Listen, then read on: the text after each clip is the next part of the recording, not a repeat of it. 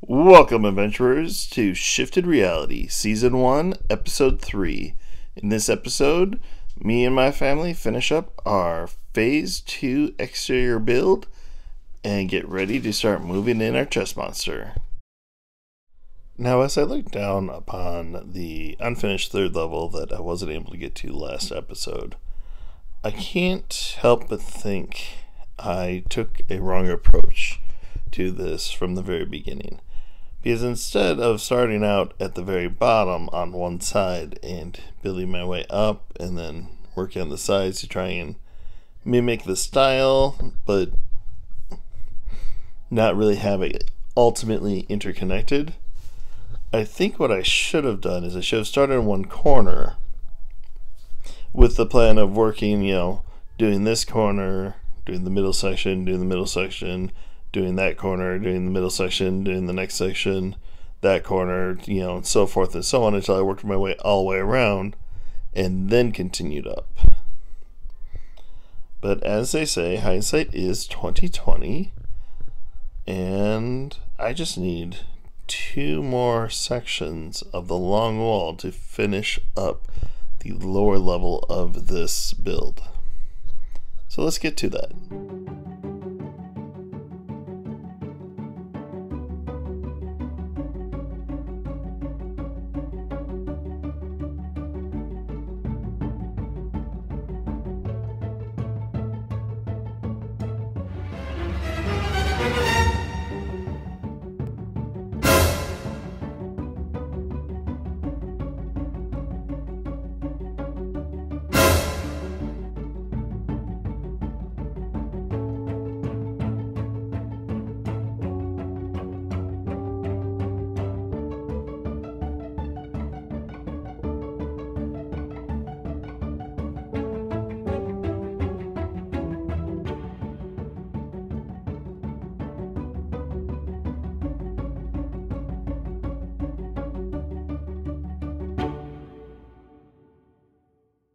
And with that, uh, we are running a little bit low on brick, so I think I am going to need it for the next section of what I'm going to be doing here, which is creating a way to get in and out of this that is not scaffolding, because let's face it, scaffolding breaks a little too easily. Now, I know the question on everyone's mind is where did I get all of this brick for this pattern to begin with? Well, for that, I'm going to need to go on a little bit of a secret journey because I promised I would not reveal the location of my source.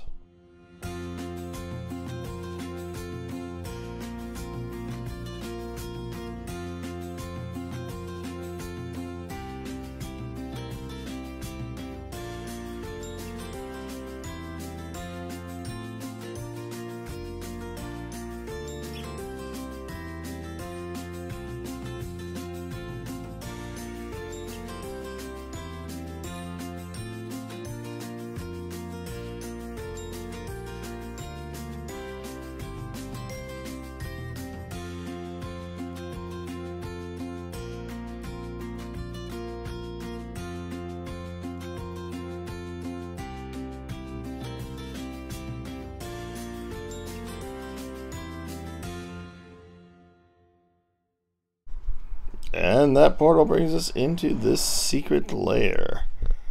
I am standing on the work of the fellow server mates who have been putting together quite a collection of villagers to trade with, and I'm just going to trade some plain stone blocks for emeralds and then turn that emeralds into some brick. And yes, I have his permission to do this as long as I keep the location secret.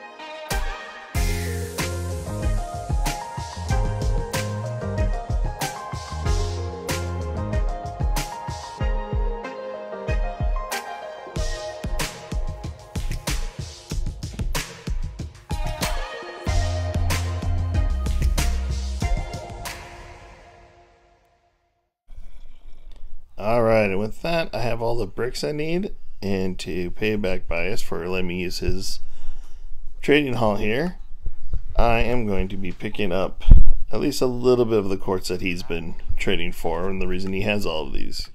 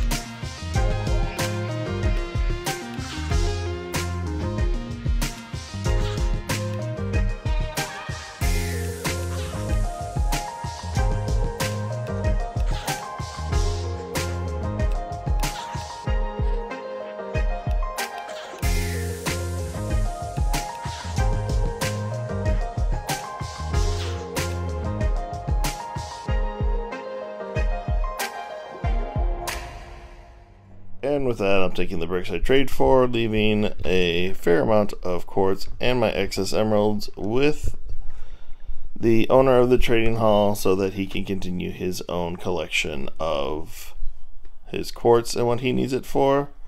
I'm just going to give a quick sleep before I go so that I reset all of the villagers' trades in consideration.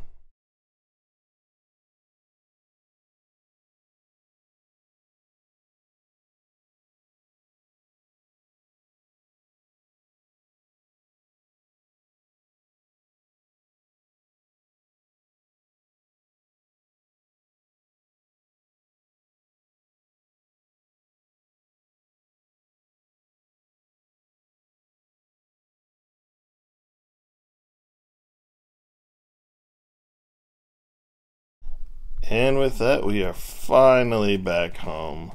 Coming back with our load of bricks to continue our building.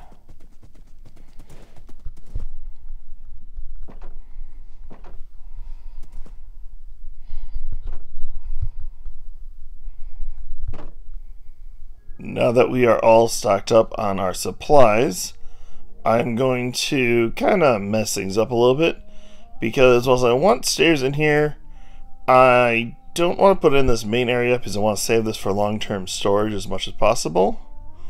So I'm going to put it in the corner on the outside. And in typical castle themed, it's going to be a circular staircase. So I'm going to need to kind of take away part of this wall a little bit.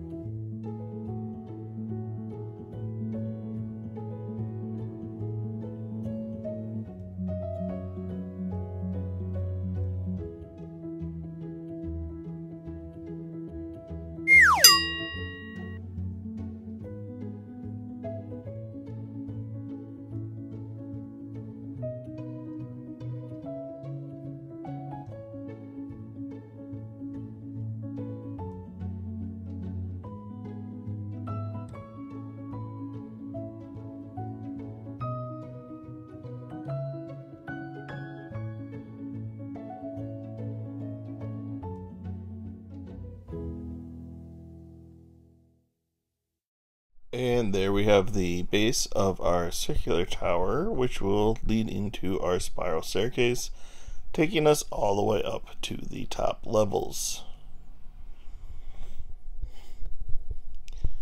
Now, when you're considering a spiral staircase, there's a couple of things to keep in mind.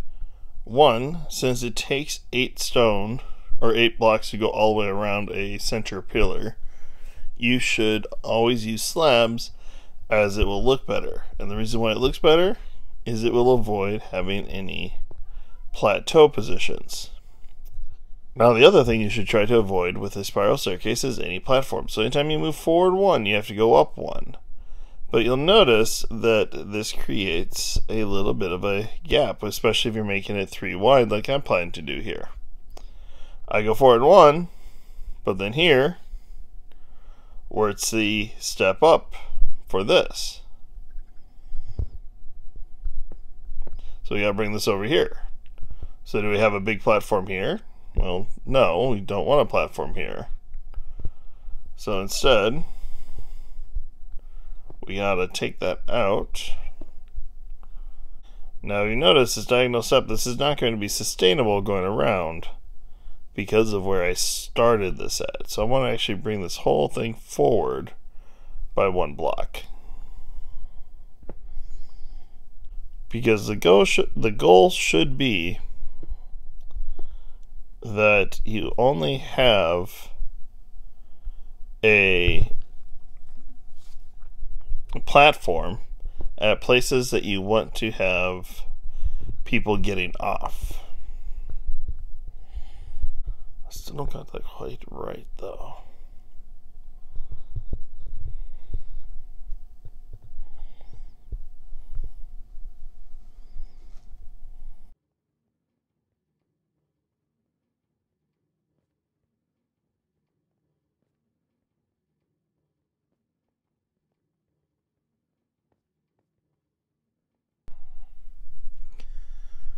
And there it is.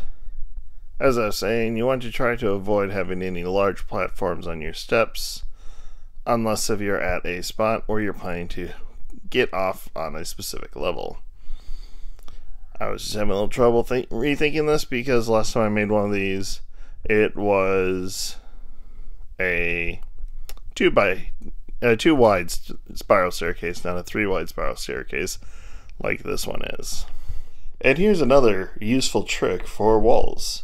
Because the wall block does not attach to the stair block, you can put it in here, set your blocks in between, and then now you have the arrow slit that is a typical defense in medieval fortresses and castles. Giving you a nice little decorative event. I'm just gonna take a quick peek at the build so far with the camera account. Now I like the pattern between the indents and the arrow slits, but overall it's looking a little bit on the plain side to me. So I'm thinking somewhere right about, uh, let's see, maybe between the second from the top arrow slits. I need to just add on to just make it pop a little better.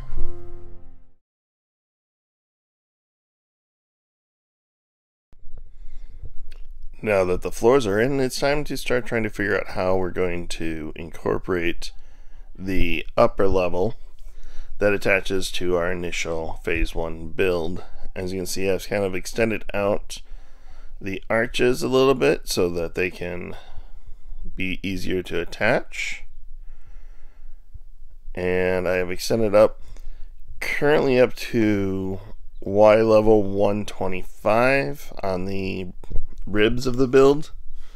I'm not sure if I'm going to go more than two stories on this. I think with all the space we have in the basement, I don't think we need to go particularly high on this. You know, as I'm trying to design this wall, I'm thinking there's something missing, and that is end stone. So I need to go to the end for the first time. Now, the nice thing about being on a shared SMP server is I don't have to go looking for a stronghold because someone else already found it for me.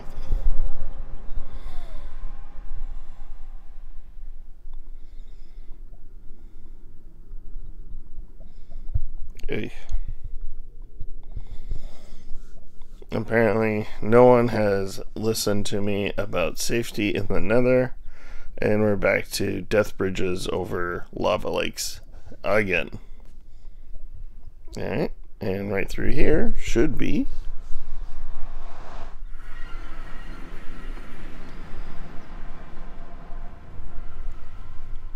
our stronghold.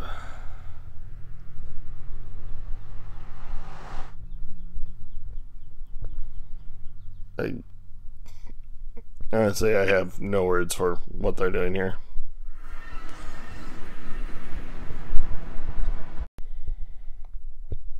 Ah, the end dimension.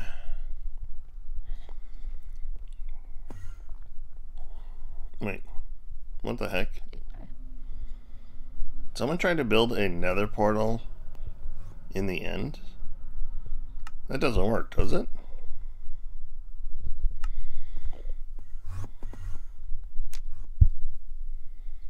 Yeah, no, that doesn't work. Alright, so looks like they've killed the dragon just a couple of times. Should I collect the end stone from the Dragon Island or should I head over through one of these portals they created?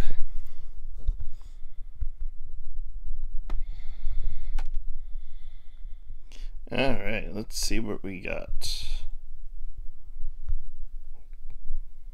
Chorus fruit. I landed on a chorus fruit tree.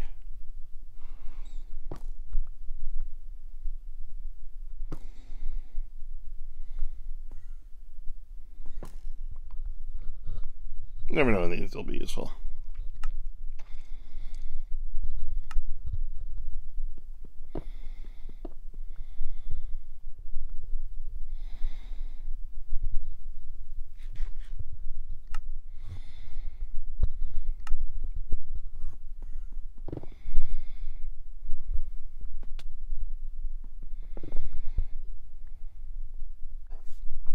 Now, I don't know if I plan on making any visits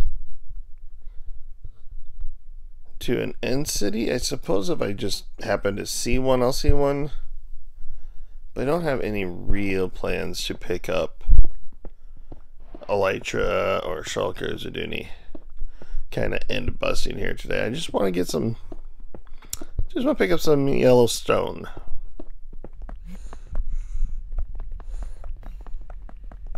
Well, I don't know how much I will actually be needing. I figure four stacks and a little bit extra is probably a good amount to start with. Plus, my pickaxe is getting a little bit weak. Any chance... Just take a real quick look around. Just maybe we're lucky and there just happens to be a city nearby.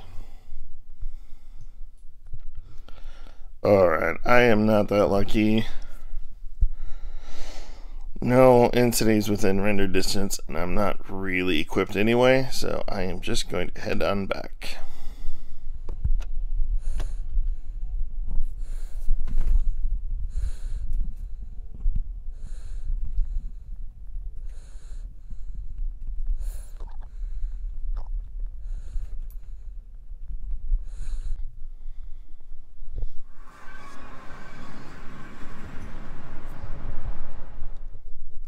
And a short trip to the end later, we now have a nice contrast to the gray brick and red brick.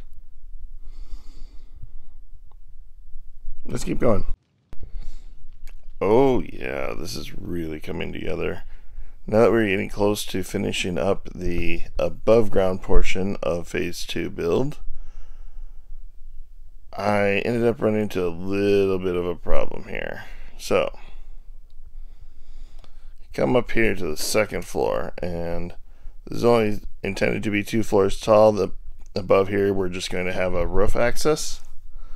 But I wanted to not have all just the plain square rectangular windows. I wanted to try and have a little bit of an arch windows.